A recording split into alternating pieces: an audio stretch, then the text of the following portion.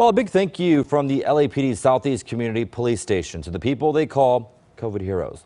Yesterday, they recognized these heroes for all they do for the community.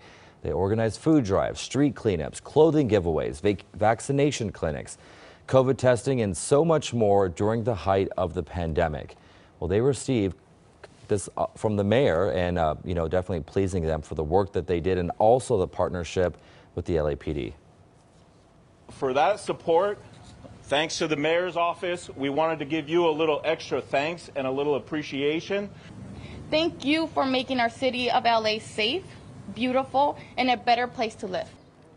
And afterward, they posed with the area commander for a group photo. And Amy, we just know how much people needed help during yes. this time. And to see these people, I mean, true heroes and so many other people that aren't pictured here. I mean, even looking at the food banks. Yes. Lines and lines and lines. So congratulations, heroes community heroes for sure.